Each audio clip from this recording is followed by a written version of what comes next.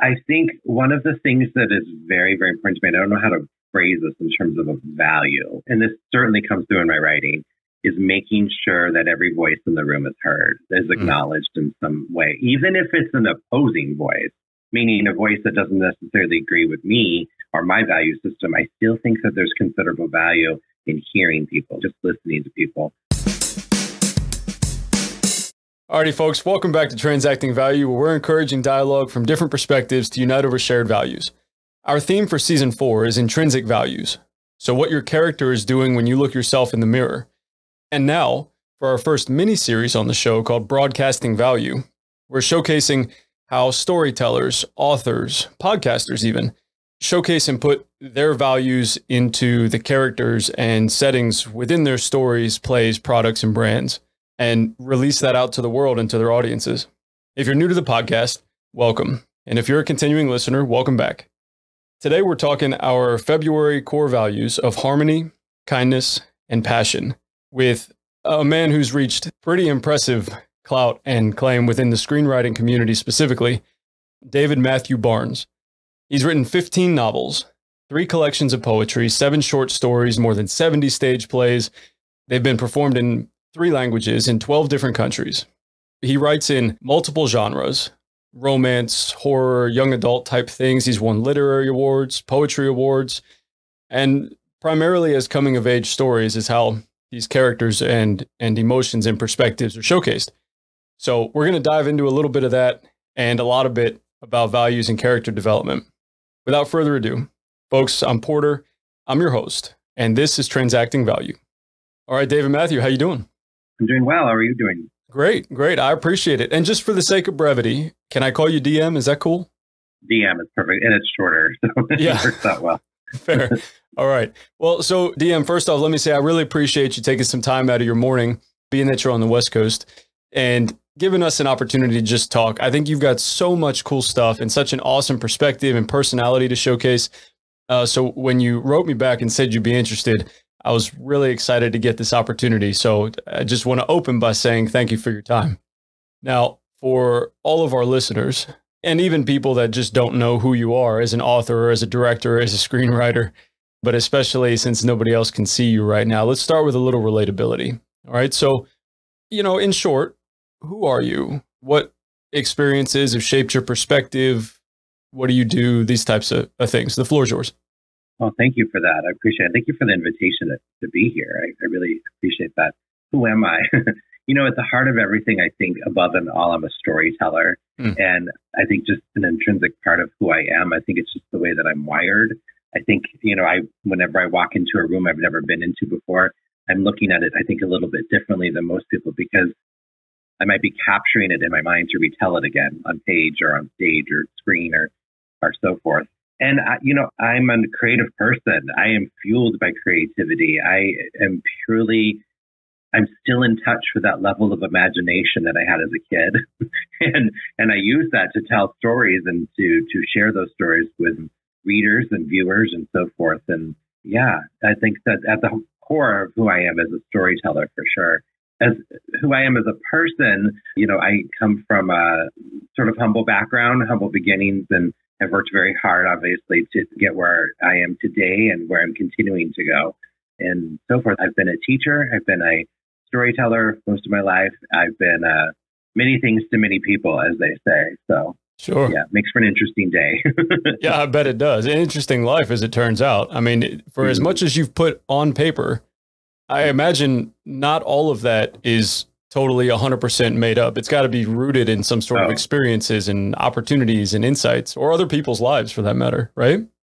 Yeah. No, I, I mean, sort of a two part response to that. One is I consider myself a professional eavesdropper. So whenever I'm places and I'm hearing interactions between two people or more than two people, you know, so much of what I write and where it comes from comes from observation and it comes from listening and just over time really sort of you know fine tuning those skills to sort of I'm, i feel like a story detective. You know mm. and stories find me i find stories. But then the hard part like you're you were saying is sort of deciding which of those stories are if there's potential there to tell a bigger story if it's the beginning of something bigger. Yeah, and I I'm also a very big reader, and I just love story and words and language and the significance of words in all form and what they can do, the power of language and the power of spoken word. I mean, you know, one word to somebody can change their life in a in a really big way. So I love that. I love exploring that creatively. Yeah, I totally agree with you. And I mean, it might be as simple as just, "Hey, you look nice today." That changes your entire outlook for a day. Or it might be something you read in a book that changes your entire perspective for your life and anything in between. Mm-hmm. But it's mm-hmm. interesting you brought that up because you said earlier, you know, fueled by creativity that you had as a kid or, or your imagination and ability to interpret that. And I think that level of literacy and competency, I guess, as a capability is diminishing. You know, it's not, at least in public discourse, you don't talk about as much anymore. You know, like in schools. So my son, he's eight, for example. So in elementary schools, and for anybody listening, I'm talking primarily to the United States and no specific curriculum. But in schools, the focus is get the right answer. The focus isn't the process and the interpretation and the poetic license and the socialization and you know how to interpret what's happening around you or like you brought up earlier how to creatively do something with that if there's a potential to tell a bigger story. Have you found in your experience over the last few decades that that's been a changing assessment of yours as well? Definitely. I feel like there's less and less reverence for creativity. And again, we're speaking about Western culture yeah. probably, but for sure I see it. You know, I've experienced it as a teacher, the shift of the archetypal students that I've worked with, that there is sort of this less and less focus uh, occurring on the imagination, the encouragement of new and creative, innovative ideas. And that is concerning to me for sure because so much of that demand or that sort of filling in the gaps of that, if you will, is going to rest on the shoulders of parents and other people in the community to sort of fill in those gaps a little bit. Now, I do feel very strongly that teachers in this country have an extraordinary battle every day, you know, in and out of classrooms in terms of budgets, in terms of resources, in terms of funding, in terms of not enough teachers. And so there's that piece too. I will say from my own personal experience, though, I do see the shift. For example, when I was growing up, I grew up with, you know, primarily a single mom for most of my life. And so a lot of that creativity and imagination and so forth, I found in other places. And for example, the local library and libraries in this country are shutting down, you know. So I think that a lot of the things that I had that were beneficial to me growing up with not a lot of resources, immediate resources that I was getting from other places, to your point, are diminishing considerably. So what is that? What is that impact on culture and literacy and so forth? And the writers behind me that are coming up, you know, so they're going to have less to work with to get started. And does it put them at, a, at an unfair advantage, disadvantage? Oh, come on, DM. AI is going to take care of all the initial prompts. You don't have to. but yeah, I mean, yeah, I can write a great story about AI, but I don't know if I want it to be a part of my everyday life, just me personally. right, right. You know, we we're, we we're talking about this this morning while we were eating breakfast here about how the sort of spiritual impact on how you interpret society, you know, your, your values, your morals, your ability to make decisions, that type of aspect. Because it's not a focus, the more that it gets overlooked, like you just brought up, the less likely creativity in its interpretation is going to continue to exist and have legs to sort of perpetuate itself. Alrighty, folks, sit tight and we'll be right back on Transacting Value. In business and in life, sooner or later, we all hit a wall, a plateau. The Action Catalyst podcast is designed for this moment, rated a top podcast by Inc., Entrepreneur, Business Insider, and more. Ignite your inspiration today at theactioncatalyst.com or wherever you listen to podcasts. The sort of spiritual impact on how you interpret society, you know, your, your values, your morals, your ability to make decisions, that type of aspect. Because it's not a focus, the more that it gets overlooked, like you just brought up, the less likely creativity in its interpretation is going to continue to exist and have legs to sort of perpetuate itself. And so I'm curious, in your experience, in your perspective, let's dive into your personal values a little bit. So this is a segment of the show called Developing, Developing Character. Character. Developing, Developing character. Mm-hmm. And You can answer these three questions to whatever depth and vulnerability you're comfortable with. And for the record, and for anybody listening, if you decide, DM, to answer with, I'm not sure, I haven't really thought about it, that's totally cool too. Okay. But okay, so three questions. First question When you were a teenager growing up, what were some of your personal values? This is an interesting question. So, growing up as a teenager, I was I really wanted to experience life as much as I could at a very high level, meaning I, you know, the thrill, the fun, the adventure, and so forth. In terms of my values, I think that during those years in particular, those values were shaping my formative years, if you will. But so much of my values growing up, you know, there weren't a lot of kids like me necessarily that were expressive and creative and other things that were part of my core being. And looking for that representation of self to look at role models to create those values, that value system that I was trying to shape and form was tough. And I think that later in life, that's probably why I ended up writing so much for young people.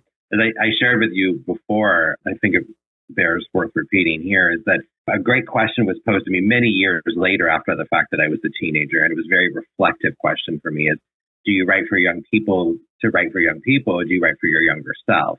Mm. And going back to that era when I was really shaping who I was in terms of a moral code and ethic code, I am writing for that younger self. I'm writing the books that I didn't have. I'm writing the screenplays and the stage plays that I needed as a young person to shape and define those.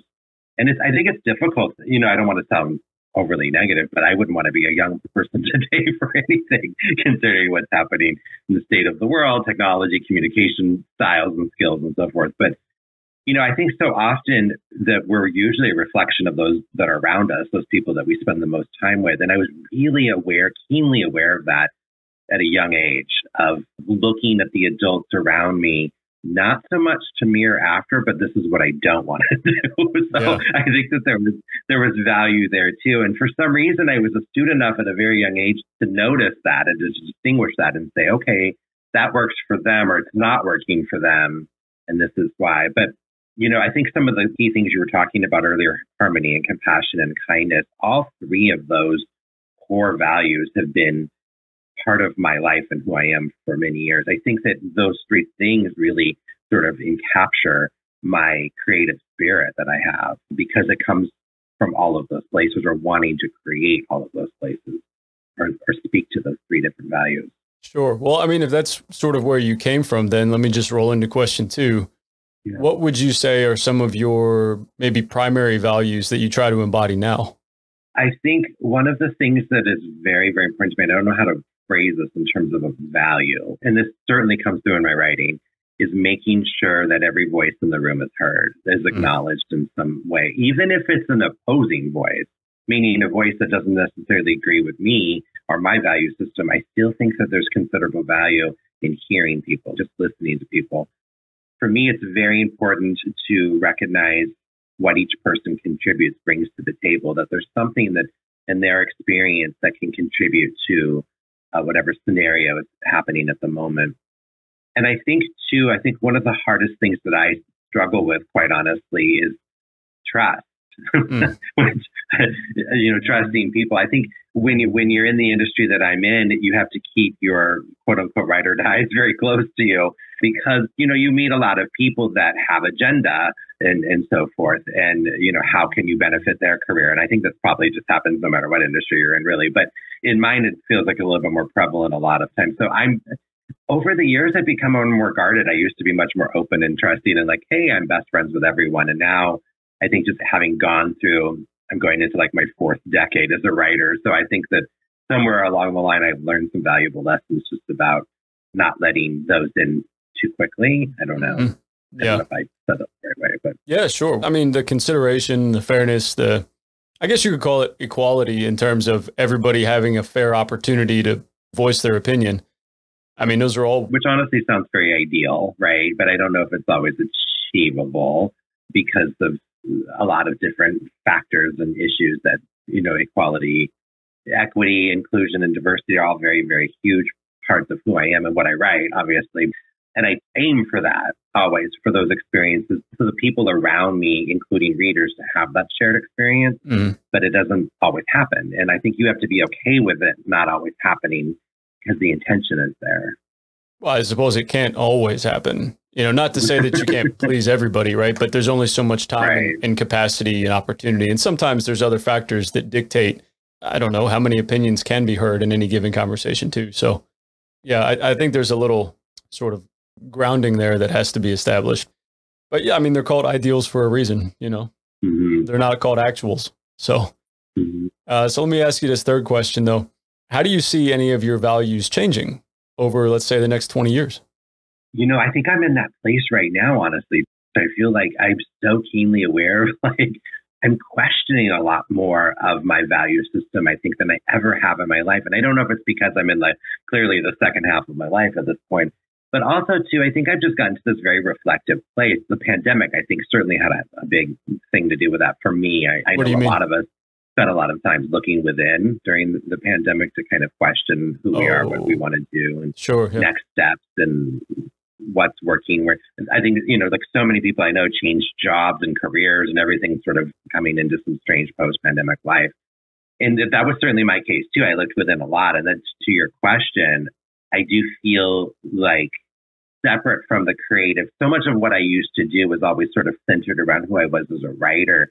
And now secondary, I'm sort of like, okay, who am I when I'm not a writer? And oh, so I yeah. think having those two sort of separate identities, the one sort of more public persona versus more like who I am intrinsically, I think that's the that's where I've been sort of stuck at and looking at a lot in terms of like, are those two value systems the same? You know, and so representing a value system through writing and culture and creativity, which is certainly a part of who I am, but is that who I am at home? so right. I don't know if that makes any sense, but yeah, that's certainly that duality, that duality of like, are they one and the same? Certainly has been an interesting exploration for me. I'm still in it. Was, I'm sure for anybody or everybody.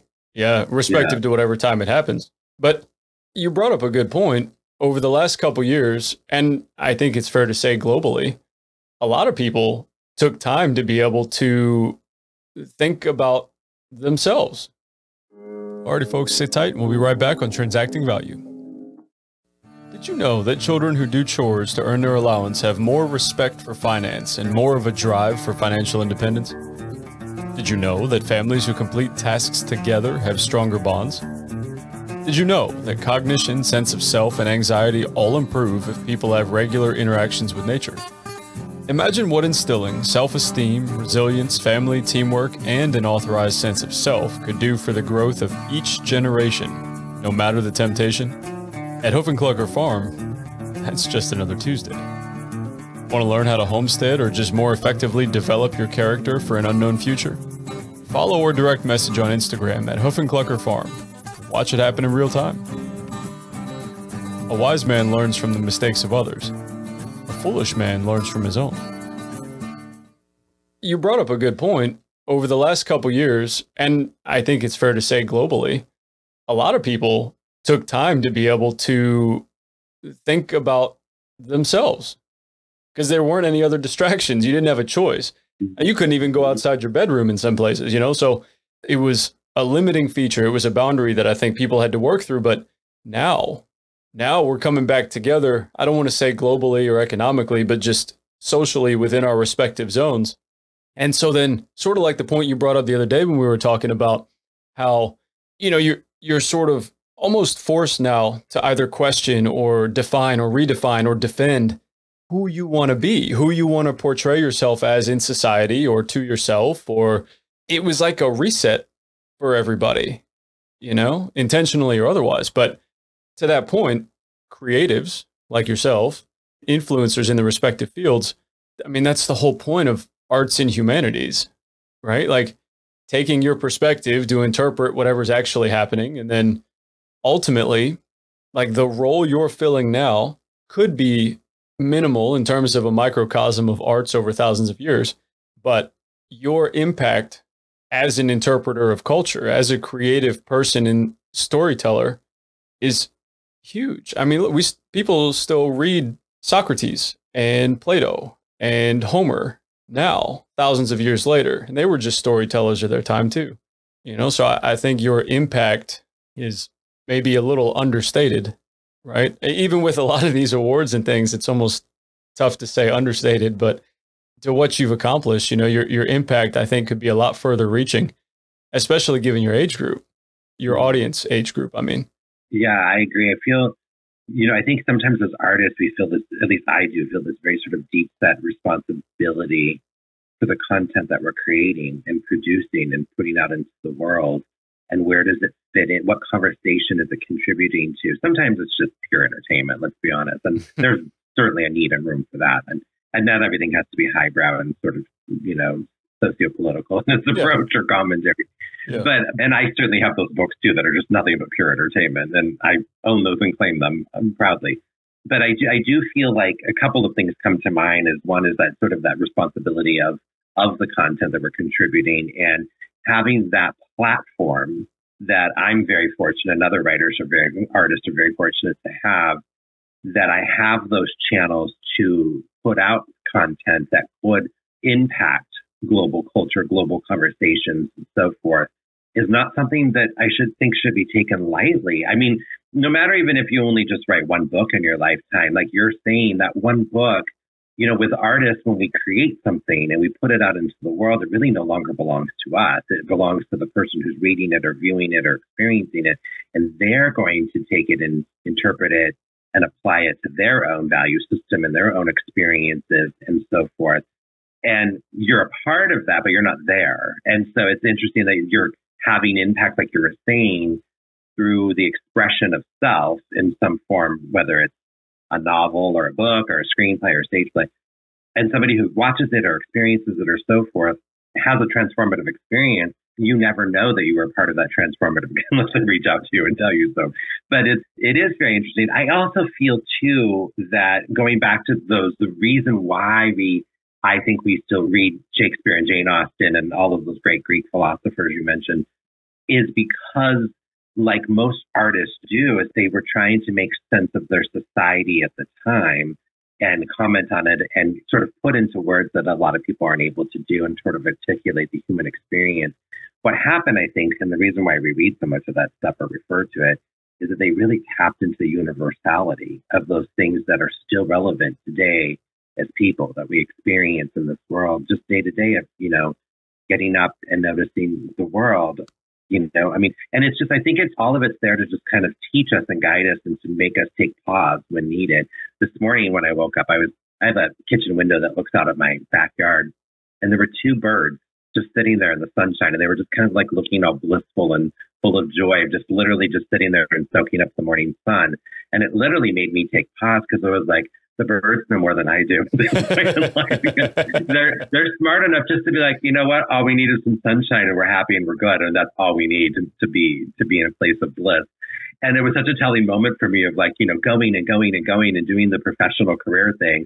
And then like literally like, oh, let me just stop and just acknowledge the fact that there's sunshine today, you know?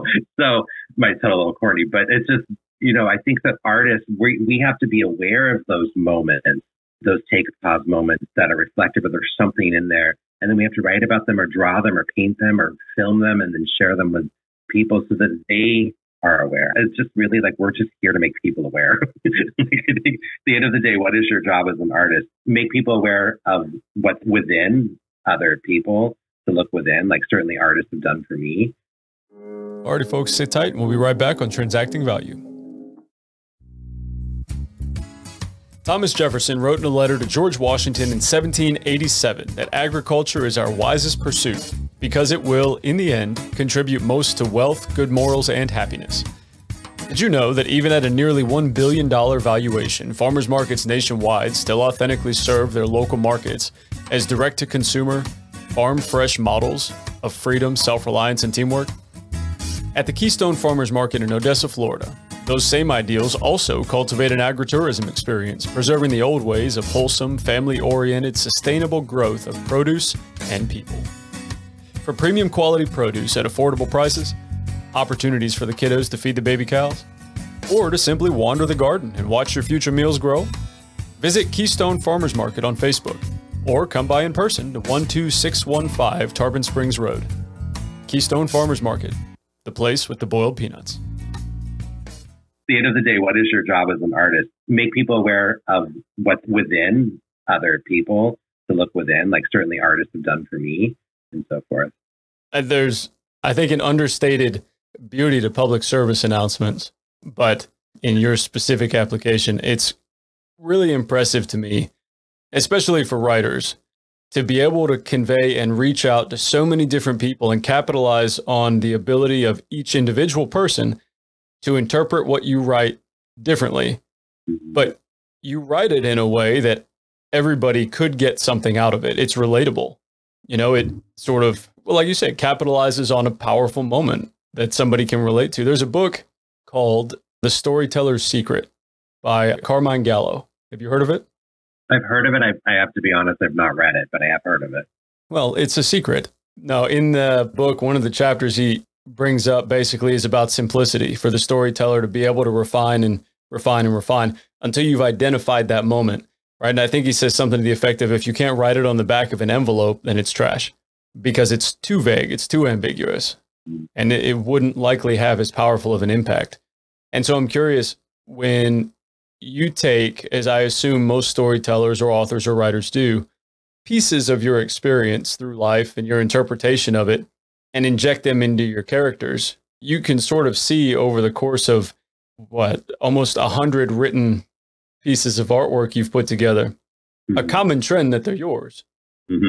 Yeah. you know because there's a i mean a style obviously and topics and an audience but like pieces of you in your character arcs. And so how do you align your values and your perspective with the work you create?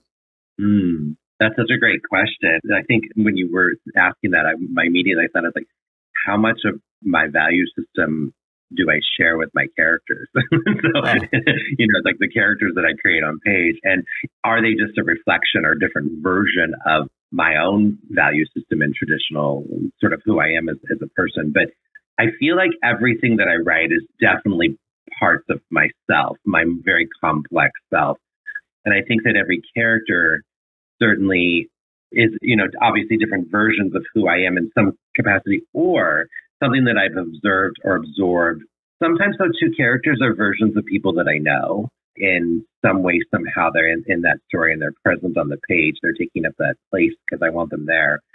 But I do feel like writing for me has certainly been very explorative in the sense that I've gotten to know myself better Mm. by writing and creating different works of art because when I create, when I'm in that creative space, I'm not thinking about judgment. I'm not thinking about society or fitting in or what's accepted and what's I'm thinking about the world and that, that I'm creating imaginatively and like what works in that world. Certainly, if you were to look at the everything I've written, there are some common themes, there are some common values, there are some common you know, there's trends there. And I don't know if anyone's ever done that with my work. And I, if they do, I don't know if I want to actually talk about it because it might be a little scary to be doing. But, you know, I certainly, I, there's a lot of grief in my work. There's a lot of overcoming of grief. I write about ordinary people experiencing extraordinary circumstances and how those circumstances change them and their value system and who they are and how they experience life thereafter. And that's really at the core of everything I write. But you know, I write very sort of stuff that I feel is very rooted in realism. So I'm not, I don't write a lot of like fantasy or sci-fi and so forth. Even my horror stuff is pretty rooted in realism, which isn't really hard to do these days, let's be honest. But, sure. but I do feel collectively my body of work speaks to who I am. Really, it speaks to the experiences that I've had, both as a young person, as an adult, as a student, as the son of a single mother, as a brother, you know, as a husband, as all the things that I am to people in this world. There are parts of those experiences certainly in my work. Now, I will tell you though, and I think any writer would say this, that there are certain areas of my life that'll probably never show up in my work because it's just quote unquote too close to home. And I think the creative person, you know, if it scares you to write it, that's the stuff honestly that you should be writing. But sometimes I follow that and sometimes I'm like, eh, I can't do that quite yet. So and I think some stories I think I'll never share, never tell, just because that's something you have to keep for yourself. Yeah, it's personal. Right. Yeah. Yeah, for sure. Yeah, sure. I really appreciate the opportunity to, to dive into this and and your willingness to be a little bit more vulnerable and open up in, you know, maybe a format that's not really typically your comfort zone. So saying that though, I do have one other question for you before we close this out though. As you try to develop, let's say, a better you now mm-hmm. that a future you could look back on and be like, yeah, I did that. I'm proud that went that way. I, I learned a lot. I grew from that. That was a good decision, you know, whatever. That the future you can look back on and be proud of.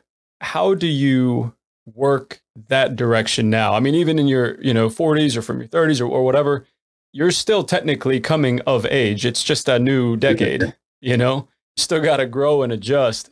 Yeah. So what have you learned? How do you apply those things now to be a better you? It's so interesting that you asked that because I'm at the peak of that experience, I think, right now. I think a lot of people are, as we were talking about earlier. But mm-hmm. for me, I feel like wanting to be the best version of myself, including living my best life in whatever that means for me, right? I feel like it's so, in so many ways, it is far greater significance in my life than the writing. Alrighty, folks, sit tight and we'll be right back on Transacting Value.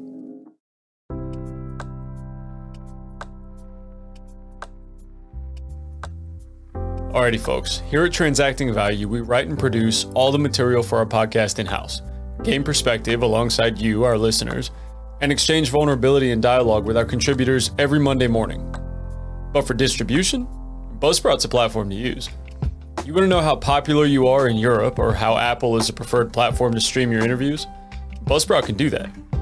You want to stream a multiple players through an RSS or custom feed, or even have references and resources to take your podcast professionalism authenticity, and presence to a wider audience? Buzzsprout can do that too. Here's how. Start with some gear that you already have in a quiet space. If you want to upgrade, Buzzsprout has tons of guides to help you find the right equipment at the right price. Buzzsprout gets your show listed in every major podcast platform. You'll get a great looking podcast website, audio players that you can drop into other websites, detailed analytics to see how people are listening, tools to promote your episodes, and more. Podcasting isn't hard when you have the right partners. The team at Buzzsprout is passionate about helping you succeed. Join over 100,000 podcasters already using Buzzsprout to get their message out to the world. Plus, following the link in the show notes lets Buzzsprout know we sent you. Gets you a $20 credit if you sign up for a paid plan and helps support our show. You want more value for your values? Buzzsprout can do that too. For me, I feel like wanting to be the best version of myself, including living my best life in whatever that means for me, right? I feel like it's so, in so many ways, it is far greater significance in my life than the writing, quite honestly. I mean, the writing has defined me for many, many, many years and will continue to do so. It's, you know, after I'm gone, it's probably, if I'm remembered for anything, it'll be the writing, right? For sure. Hopefully, it'll be remembered for the way that I treated people and how people felt, you know, that I made people feel in a good way. But what you're talking about, I feel like, is like personal evolution and like those many different stages of personal evolution, but recognizing that you're in the middle of an evolution, that who I'm going to be in five years might not be, you know, exactly who I am today. But I'm so open to letting those values shift and change and evolve and deepen or all the things that they need to do to get me to that next place in terms of enlightenment, in terms of who I'm going to be five or 10 years from now. But I do feel like looking back at the experiences and choices, both bad and good, that have been made personally, professionally, that have gotten me here, I look at them, I, even the like sort of stuff that quote unquote you might regret a little bit. I look at everything as lessons. I really feel like I'm such a lifelong learner that I always like look at things of like, oh, that was a learn teachable moment for myself kind of thing. Uh-huh. And I think being aware that those teachable moments are there for a reason and it's to get us to a better version of who we are or who we can be. I think sometimes we're, we're not even aware of our own potential. I think that we go through the day to day and we get by and we do the things that we need to do. We have to be many things to many people and we check off all those things on a list. But at the end of the day, when you look at self and who you are to yourself, that's the most important relationship you're ever going to have. And I think that that's the one that you need to nurture the most. That's just, I know that might sound a little selfish, but, but it's, you know, I think it's really important that at the end of the day, you know, who you are who you are, who you want to be, who you are, the relationship you have with yourself, I think is far more critical. And I think that that relationship with myself has really helped me be more informed about the energy that I output, the people that we were talking about earlier that I let in, because you have to have some sort of criteria mm. for yourself of what is and is not acceptable. And I think that knowing those things and applying them really can only come from a place of growth and personal evolution. Yeah, well, you've got to have a metric of some kind you know, do. witting, do. unwitting. And Metric is the name of my favorite band. So I really, I like that a lot. I'm going to write that down. You have to have a metric. So sorry. no, no, it's it's fine. Make it a sticker and then mail it to me. I'll give you my address. I'll use it. but but you need to, right? Here's a case in point. A little bit more close to home to podcasters for anybody listening, and and just from my perspective, two cents real quick that even in the podcasting community, especially as an independent podcaster, right? a host or a producer or a writer, whatever role any of us fill, but in the podcasting community, it's super easy to get sucked in on social media, let's say, or on Spotify or whatever your distribution platform is. I don't know. Joe Rogan's got X amount of zeros and commas worth of fans. Gary Vaynerchuk, you know, Jordan Peterson, any of these people as podcasters that have X amount of fame, a YouTube video, a million plus views. Okay, cool. If you look at that, in my opinion, and you say, well, I've got 200, I've got a thousand, I've got 20, whatever. Mm-hmm. And you try to compare the two, you can't. You're in different leagues. But mm-hmm. more importantly, I talked to a lady named Ari during season three back in the fall. And she brought up a point to me that resonated a lot that you can look at those videos, you can look at those people, those podcasters, whatever accounts and profiles, and see that they've got millions of followers. But there's billions of people in the world. So if that's your niche and that's what you want to accomplish and that's your passion and you're able to sort of harmonize that with your skill set and capabilities, well, then whatever they've done to work for the million or the 1.5 million or whatever number obviously hasn't worked for the other 7 billion. So there's still a way that your potential could fill the 6 billion views, right? So you can't even measure to the process. You take what might work and then you evolve and you grow as you go. I think mm-hmm. a lot in parallel to the character arcs in your stories or in your plays. Mm-hmm. You know, even if what you're trying to exemplify is is that moment and what you're trying to broadcast is the value and the power within that for people to relate to it, there still has to be a development and growth for every one of your characters in every story, right? Absolutely, because I think that a good story covers that arc. So, like for me, it's always like you know the character in the beginning of the story is here, and they're going to get here, but that journey is the interesting thing, and that journey is usually the thing that people who read my work or watch my films or plays, so forth, that's the thing that they connect with. That's the thing that they reach out to me about the most is that the journey of the character. So I do feel like a representation again matters in that regard. Alrighty, folks, sit tight and we'll be right back on Transacting Value. Legacy means a lot of things. It's integrity, security, building something that outlasts yourself. On Let's Talk Legacy, we explore how experts, well known names, and others share the way they're leaving more than just memories. What legacy are you leaving? Listen at letstalklegacypod.com. That's the thing that they connect with. That's the thing that they reach out to me about the most is that the journey of the character. So I do feel like a representation, again, matters in that regard. Yeah. That's a powerful point. I think the awareness to the first thing you said when we got into this conversation, the ability to observe and interpret, you know, makes all the difference because mm-hmm. nobody's got a right answer. You know, like, probably a conversation for another time, but you know, all of that looking within, I don't know where the storytelling comes from. Mm. it's a very strange experience in this world to grow up as a storyteller, to live as a storyteller, to be, it's my professional career now. It's so much a part of who I am. But it's not like, you know, I can go to ancestry.com. where does the creativity come from? So it's so interesting like that some people are storytellers in our culture and how and why we don't always know, but somewhere along the line that was fostered in them, that was encouraged, whether it was just themselves encouraging it, which is a lot of times the case, or that others around them and teachers and librarians, all the people we've talked about today, have done that encouragement. But it's so interesting for me. It's like, why me? like, why why am I having this life as I mean, I'm so grateful for it. I don't want to come across like because I'm very incredibly blessed and grateful to do what I get to do every day. But then that there's people who want to hear my stories, that's a subject for another time for sure. But it's so fascinating to me of like, you know, is it a gift? Is it a curse? is it both of those things? But it's interesting of like who we all are in the world that we all have sort of a place. And my place for this lifetime has been as a storyteller. And I trip up on that a little bit of like, why am I the storyteller in this? But, uh, you know, that's who I am and that's who I will continue to be. Yeah, but those are the people that history looks to to teach for the sure, future. For sure. You know, your yeah.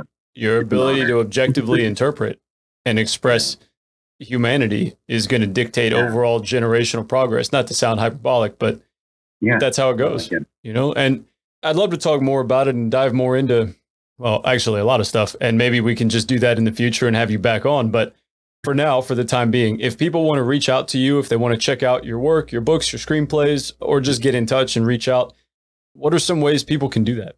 So um, I recommend going to my website, which is www.dmatthewb, and that's D M A T T H E W B dot com, dmatthewb dot com. All of my information is there. I'm also on social media, and I, you know, people reach out to me for various reasons, and I don't mind that at all. I consider myself to be very approachable, and so many people have helped me and supported my work. And so if there's a way that I can help somebody else or support their work, I'm always happy to do that. But yeah, that's probably the best way is dmatthewb or through or through my website, dmatthewb.com or through social media. If I'm in the middle of uh, writing, sort of reaching a deadline, I use I take a little bit of hiatus from social media sometimes to get that work done and focus on what I got to get done. But I'll check it eventually. Sure. Perfect. Well, for everybody listening, uh, we'll have links to DM's uh, website and social media to be able to reach out. All that'll be in the show notes. But saying that, DM, I really appreciate the opportunity, man. This was this was a cool conversation, super cool perspective, and something that I've been interested in trying to talk about. So I'm glad we finally had the opportunity. So thank you. thank you, thank you a lot. I really appreciate it. It was a fantastic uh, conversation. Yeah, that was good. And again, in the future, if you're interested, let me know and we'll have you back on. For everybody else, though, I appreciate you tuning in and listening to our core values for February of harmony, kindness, and passion. I'd also like to thank Carmine Gallo and everybody in DM's life that's contributed to his perspective and his ability to write and help foster his creativity. Because honestly, without you guys and your influence and your input, this conversation would have gone drastically different. So, so I, I want to say thank you to all of you people as well. To our show partners, Keystone Farmers Market, Hoof and Clucker Farms, and Buzzsprout, obviously, for your distribution. Thank you. Now, folks, if you're interested in joining our conversation or you want to discover our other interviews, check out transactingvaluepodcast.com. You can follow along on our social media where we continue to stream new interviews every Monday at 9 a.m. Eastern Standard Time on all your favorite podcasting platforms. And until next time, that was Transacting Value.